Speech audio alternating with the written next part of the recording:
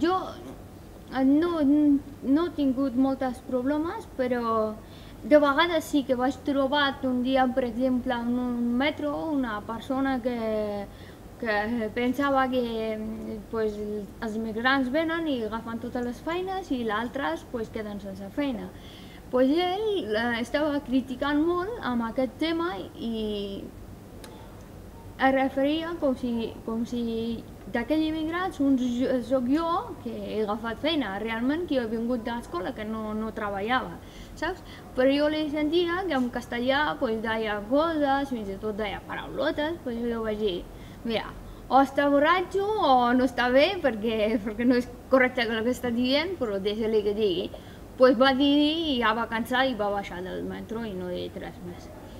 I a vegades trobo, però no és, no és molt, molt habitual, saps? De tant en tant sí que trobes algunes persones així, però no, no m'ha passat moltes coses així.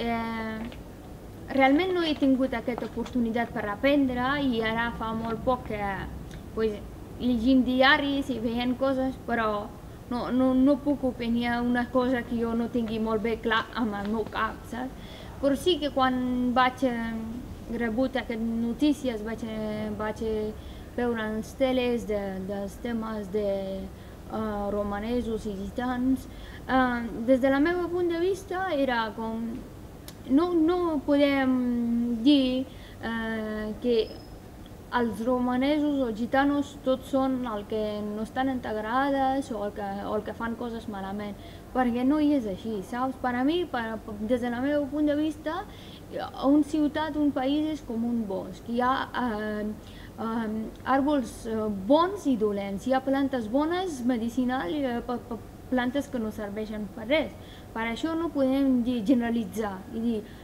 aquest lloc, pues aquest gent ho fan molt malament i aquest lloc la gent ho fan molt bo perquè hi ha de tots, hi ha de tots. No podem dir ara romanos fora perquè fan malament, no.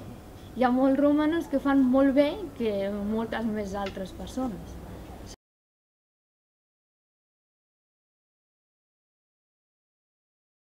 Pues, um, jo uh, tinc unes idees que de vegades la, la meva mare de Catalunya eh, quan de, eh, al matí desperto i dic mama tinc un altre projecte saps què fem? Això, això, saps?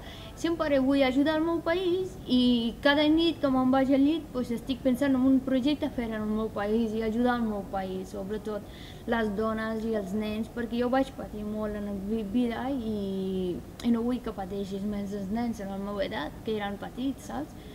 I sobretot innocents, que no saben res. I, i, i estic intentant ajudar moltes persones, però vaig començar des de la meva família i després les meves cosines, tal, però també estic col·laborant amb una ONG que es diu ACAF, que treballen amb les dones autoemulades en Afganistan, i me'n vaig ja, de moment vaig començar a fer traduccions i com una traductora i m'agradaria molt en el futur col·laborar amb ells perquè fan una feina molt important i molt bones perquè les, les persones, les beneficències d'aquell uh, ONG són unes persones realment necessitades, saps?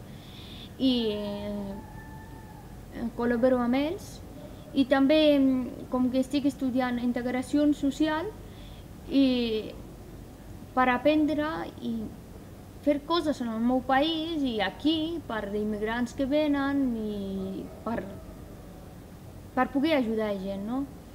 Eh, estic estudiant un curs d'estància, de, qualitat d'ONGs, per reformar altres ONGs que estan treballant en el meu país perquè hi ha moltes ONGs que pues, comencen i no saben què han de fer. I jo també he sigut una beneficència dels ONGs i sé què coses van fer molt bé i què coses van fer molt malament. Pues així vull aprendre i després reformar les ONGs que treballen al meu país. És un treball de lluita personal, de superació, de ganes de viure, de tirar endavant, de pensar que sempre es pot fer més. I la Nàdia és un exemple no, no només per la societat catalana, crec que la seva història a nivell mundial és una història que, que et fa frapar perquè et fa valorar el que tens, que ja ha tingut moltes dificultats en viure i segueix endavant, ha tingut totes les dificultats per estudiar i vol estudiar, i vol estudiar dret o psicologia, quan nosaltres en vegades tenim totes les oportunitats i no les hem aprofitat. Jo crec que hem d'aprendre de la vida de la Nàdia i aquest llibre ens dona l'oportunitat.